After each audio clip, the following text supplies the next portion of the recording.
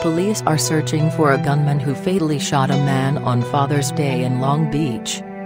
The incident was reported about 8.45 p.m. Sunday near the intersection of East Anaheim Street and Roswell Avenue, the Long Beach Police Department confirmed. Arriving officers found the adult male victim inside a vehicle with a gunshot wound to his upper body.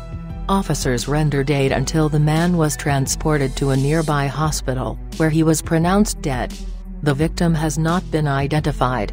An employee at a nearby Arco station told KTLA that the person who was working overnight saw a child run into the gas station saying that his dad had been shot. Police have not confirmed whether a child was in the car at the time of the shooting.